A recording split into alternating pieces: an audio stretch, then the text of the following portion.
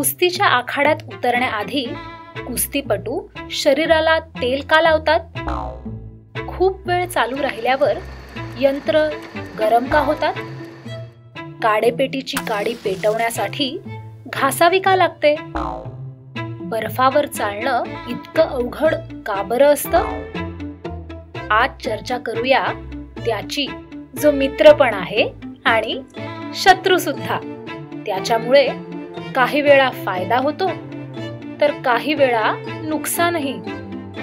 आज चर्चा करूया घर्षण म्हणजेच फ्रिक्शनची. तोच तर आहे.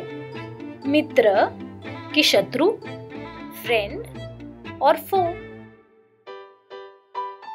दोन वस्तू एकमेकांना स्पर्श करताच घर्षण बल निर्माण होतं. ते नेहमी गतीच्या विरुद्ध दिशेने काम करतं. कोणताही पृष्ठभाग एकदम गुळगुळीत किंवा सपाट कधीच नसतो. प्रत्येक पृष्ठभागावर चढ उतार असतात.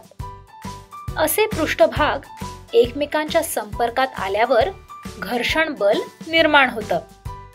याशिवाय घर्षण निर्माण होण्याची इतर अनेक कारणं आहेत. जसं संपर्कात येणाऱ्या दोन पृष्ठभागांमध्ये असणारं परस्पर आकर्षण. जणू एक प्रकारचा चिकटपणा जो तयार होतो पदार्थांच्या रासायनिक संरचनेमुळे. हे सगळं लक्षात ठेवून बनवूया एक खेळणं.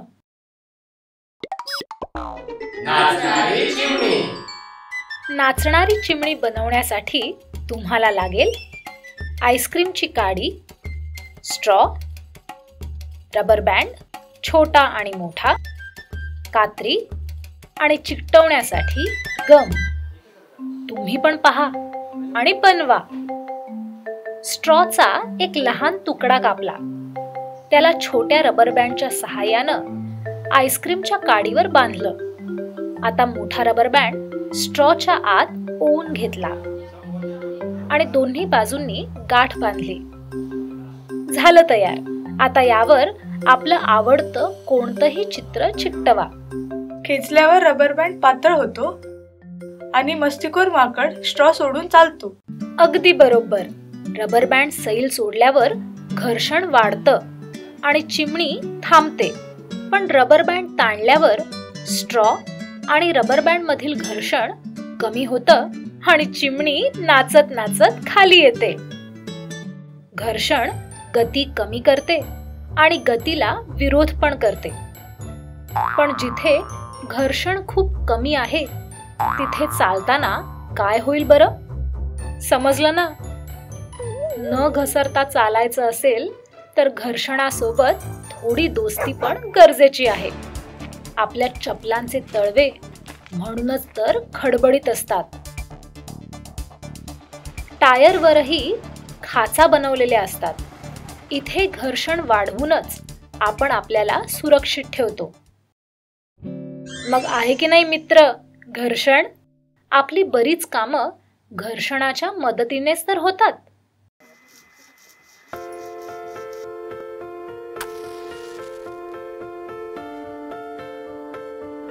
घर्षण वाढवून त्याच्याशी दोस्ती करूनच तर आपण अनेक कामं करू शकतो. पण मग घर्षण शत्रू कसा? घर्षण गतीला विरोध करतो. त्यामुळे वस्तूंचा वेग कमी होतो. मग काम करण्यासाठी अधिक बल लावावं लागतं. ऊर्जा वाया जाते. यंत्र आवाज करतात. घासून घासून त्यांचे भाग झिजतात.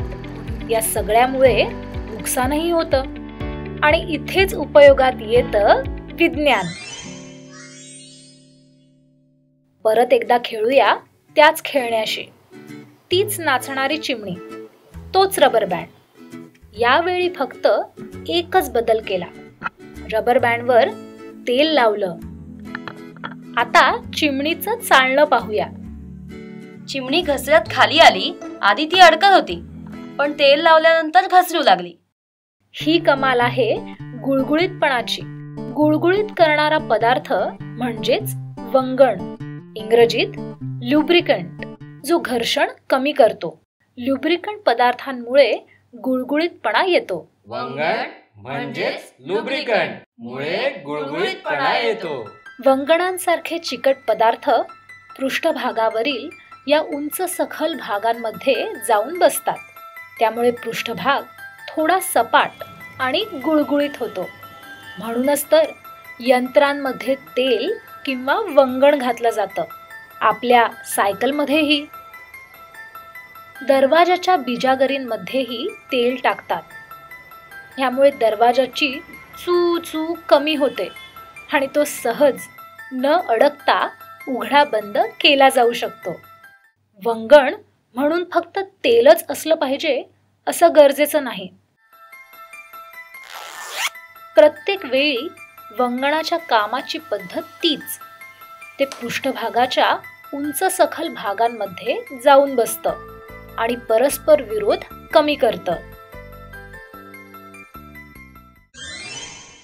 पुन्हा एकदा बघूया. घर्षण मित्र की शत्रू? घर्षणामुळेच आपण न घसरता चालू शकतो. आपली अनेक छोटी मोठी कामं घर्षणामुळेच होतात. वस्तू घासून घासून झिजतात तेव्हा घर्षण बल शत्रू असतं. तेव्हाही जेव्हा घर्षणामुळे ऊर्जा वाया जाते आणि शत्रू तेव्हाही जेव्हा घर्षणामुळे कर्कश आवाज तयार होतो. घर्षण कमी करण्यास मदत करतं वंगण म्हणजेच ल्युब्रिकंट पृष्ठभाग गुळगुळीत करणारे पदार्थ. आता तुम्हीच सांगा. कुस्तीपटू कुस्तीच्या आखाड्यात उतरण्याआधी शरीराला तेल आणि हाताला माती का बरं लावतात?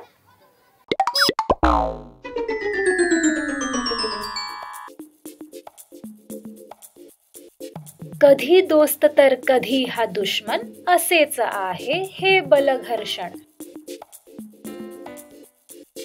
कधी पाडते कधी अडकवते ऊर्जा ते वाया घालवते.